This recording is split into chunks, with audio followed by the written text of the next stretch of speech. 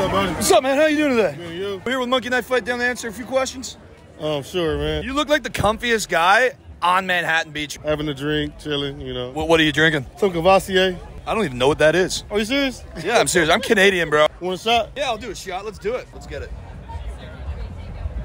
It was at this moment that he knew. He fucked up.